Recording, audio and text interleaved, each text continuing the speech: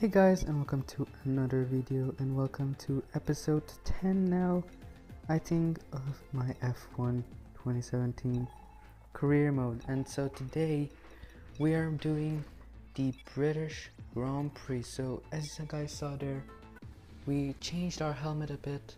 I made it you know uh, like my country flag.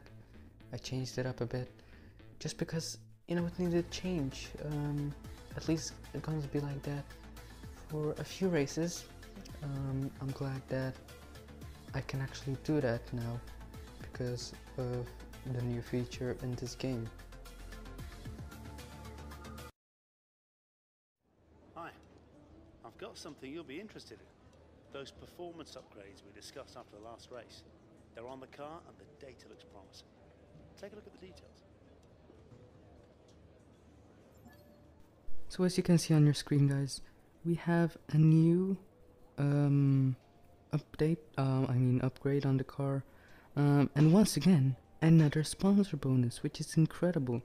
We're getting a lot of sponsor bonus and we might actually be able to overtake McLaren in the championship. Um, as you can see right now, we're doing another upgrade to the aerodynamics. It's one of our poorest um, poorest sections of our car. Um, I changed the um, engine parts and uh, now we're going to go for the practice session of the British Grand Prix. Well. But how do you like Silverstone in its current guise? Well, the old circuit was a lot of fun, of course, but I do like the current layout. The reprofiled Abbey is faster than it used to be, and I always felt it was missing a sort of slow technical section. And now the corners up at Village and the Loop gives us that. So yeah, I'm a fan, and uh, on top of that, I think it's created some more overtaking opportunities.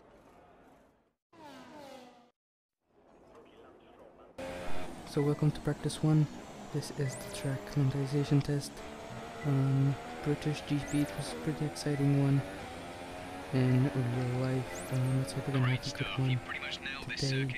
Um, as you guys know, England, um, British GP is a, a very high speed um, technical circuit and we need a lot, a lot of downforce for it.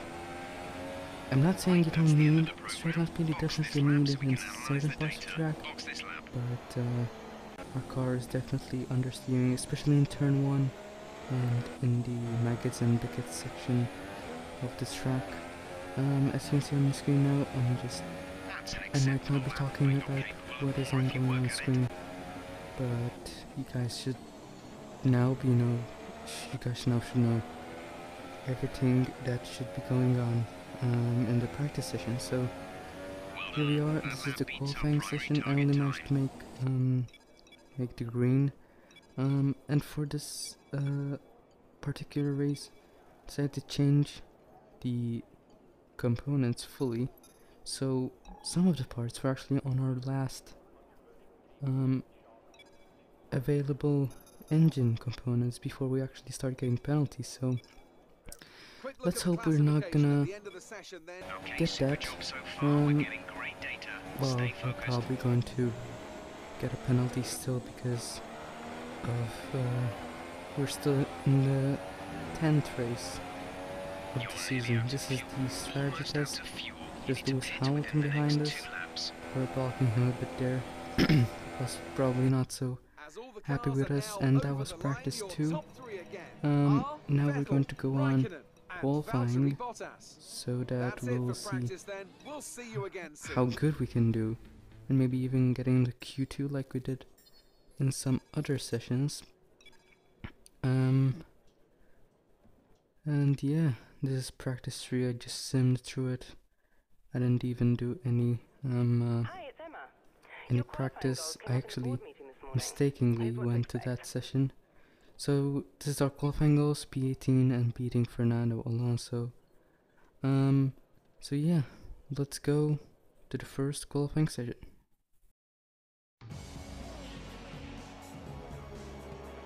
It's a Saturday afternoon here at Silverstone, and that means it's time for today's qualifying. Enjoy the action. Looking at this field today, Ants, do you think we're going to see anyone take a chance? Maybe run the harder of the available compounds and save some of the grippy tyres for the race tomorrow? Well, I'd be surprised in all honesty. It's only the front runners that really have the pace to get away with that, and even then, at the end of the day, it's a big risk. Track position is the most important thing, and it's rarely worth sacrificing for a slightly more optimal strategy in the race, so I doubt we're going to see anyone trying it. I have been wrong before though. We certainly do see some risky decisions every now and then, and it's a gamble that's sometimes worth taking. But if it were me in the car, I would want to be on the fastest tyre for my qualifying lap, without a doubt. So this is our first run in the qualifying session. We were doing a pretty decent lap, I would say, for our banker lap. Um, I actually, this is actually one of the most laps I ever done in the qualifying session. So I did like four four runs. So this is going to be our last run. I actually made two runs on the same tire. I forgot to change tire. But once we crossed the line, I think we were in P15. Yes. At the moment, I actually did not know. I actually forgot that P15 meant I was going to go through uh, Q1 just about the last position available to to get through and by little of course we absolutely smashed our teammates um, our teammates lap more than a second quicker than him so things looked pretty interesting, even though we actually increased the difficulty. I might increase it just a little more in uh, in the next race in the future. So this is Q2 now. This is our first run. Um, I didn't. I forgot if I did more than one run. I probably did, just to be more, you know, what I was doing. Um, I think I actually made a run. You know, I exited the garage manually. Um, and yes, this is our last run now. Um, and we are simming through the session. We're last place and we're probably gonna get worse and worse into the session. Yes, ended the session, we are way, way um, off from P14 Romain Grosjean. Something like 6 tenths, which is incredible. Um, but still, we managed to get into Q2, beating our teammate, beating Fernando Alonso, our rival. If you guys forgot, um, more resource points. I'll probably upgrade the chassis. Continuing, um, reputation's looking good as well. Um, Hi, guess who? as always, our I've seen the agent is going to talk to us. So I thought I'd pass them on and wish you luck. Take care.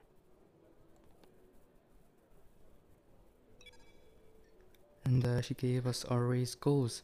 So without further ado, let's go to the British GP R Grand Prix.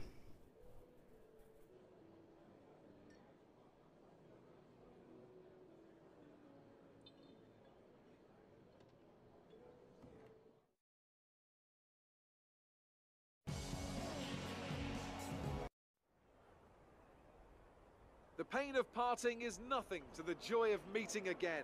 And how joyous indeed it is to be back at Silverstone once more for the British Grand Prix. The queues to get in this morning extended miles back down the A43, such is the enthusiasm for Formula One in this country. We're almost ready to go then, and this is what the starting grid looks like for today's race. Sebastian Vettel has a clear track ahead of him today. He starts in pole position, and Valtteri Bottas will line up alongside. Looking down the rest of the grid, we have Hamilton, Raikkonen, Max Verstappen, and Ricciardo, Massa, Stroll, Sainz, and Esteban Ocon, Hulkenberg, Perez, Daniel Kvyat, and Grosjean, Asalba, Palmer, Kevin Magnussen, and Fernando Alonso. Wehrlein and Stoffel Vandoorne completes the grid. And now it's time to head down to the track.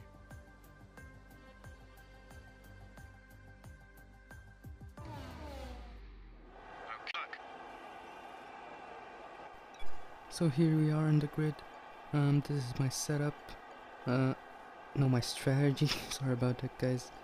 Um, I'm really not good with English, you know, when it comes to talking. You probably know by now.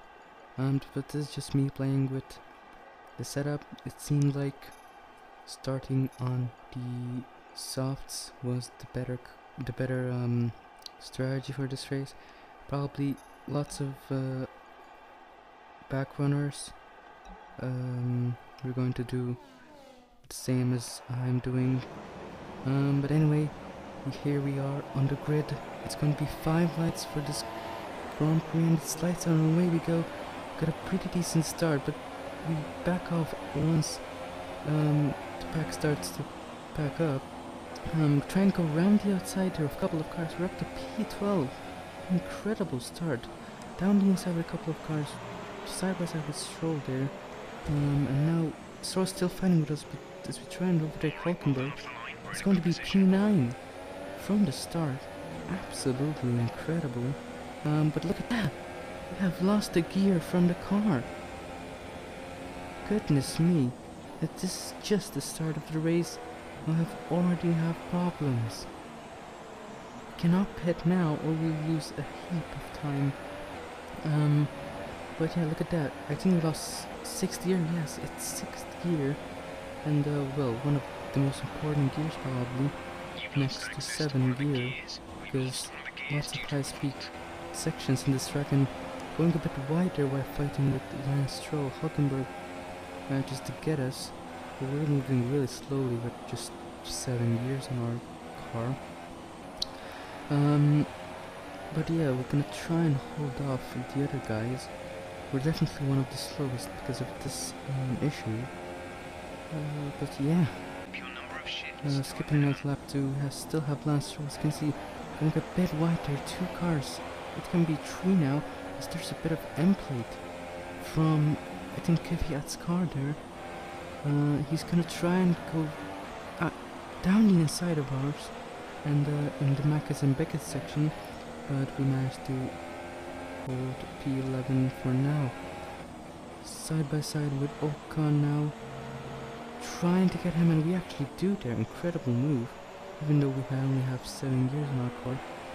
Um, yeah, P10 for now in this British Grand Prix. He's gonna definitely try and get us. We're definitely slower. We're gonna try and go too wide there. He goes a bit wide, he loses a lot of position. If we manage to keep in our position, we're gonna be side by side now with Kvyat in this Mackets and Pickett section. This reminds me of crash with his teammate um, in the actual Grand Prix.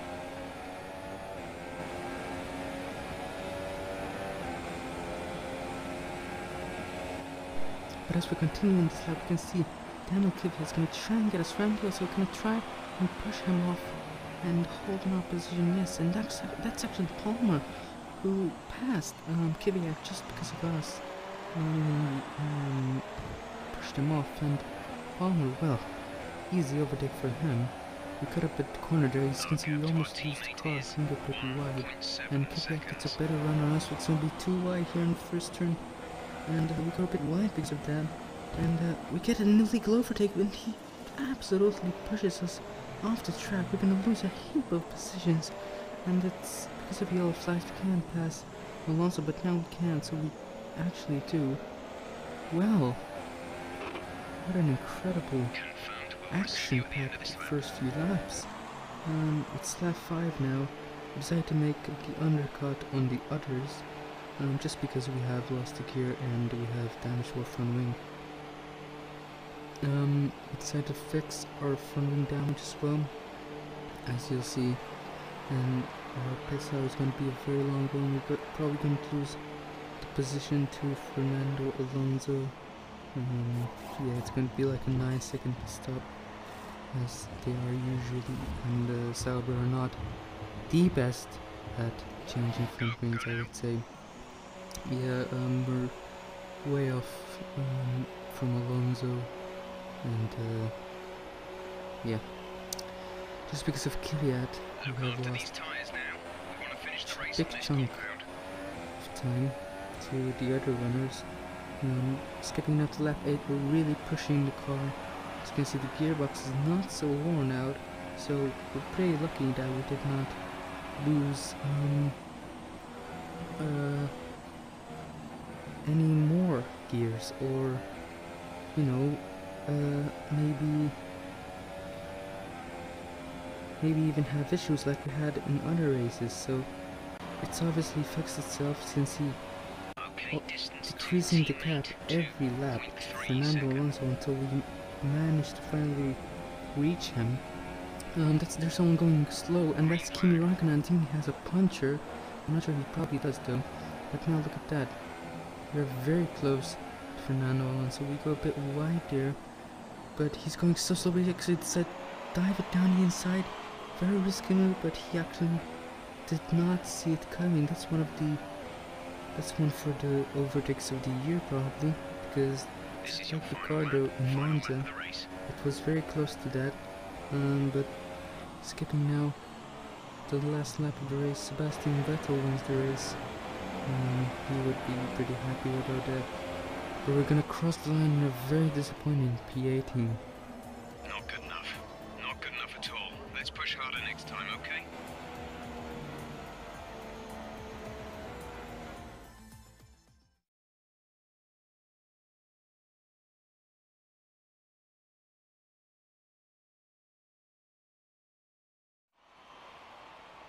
So, another excellent win from Ferrari. And Anthony Davidson, give me your thoughts. How did they accomplish this result? I feel like consistency was probably the key today. There's being quick, and then there's being quick lap after lap after lap. If you can do that, you can capitalise on other people's errors without making many of your own. And that's an approach that can push you a long way up the field. And as we can see, it's time for the podium. And as the drivers make their way out, there's a familiar red suit making its way to the top step. Fantastic win for Ferrari.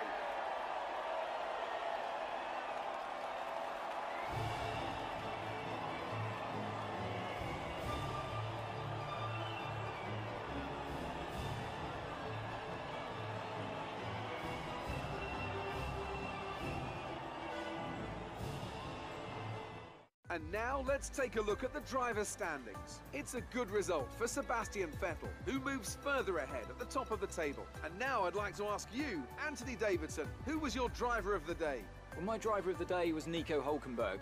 He did a cracking job moving through the field and just highlighting why he's so highly rated in the paddock. On to the constructors then. It was a tough race for our championship leaders who lose ground at the top of the table. Meanwhile, Toro Rosso's strong weekend allows them to continue their march up the table. After all that excitement, it's time for a lie down, I think. Thanks for joining us and goodbye until the next race. So yeah, that was the race. Um, Sebastian Vettel wins the race. Mercedes are still in first place. Driver standing Sebastian Vettel now leads the championship. Lewis Hamilton um, overtakes Bottas in the championship, but for us it was another disappointing race. Um, the team definitely did not seem happy about it. Probably gonna lose some reputation because of that, and uh, lose a bit of um, of points probably because of that. Well, probably wasn't our fault just because Kvyat hit us off and we lost like five positions. So yeah, we're gonna probably lose not our rivalry because we actually um, beat Fernando Alonso. We lose a bit of reputation from McLaren there, a big red bar near it, and as you can see, we have a new um, classic car challenge, but we're gonna leave it for the next race, guys, as we always do. But anyway, if you did enjoy this video, don't forget to subscribe, leave a like, and I'll see you in the next one. Bye, guys.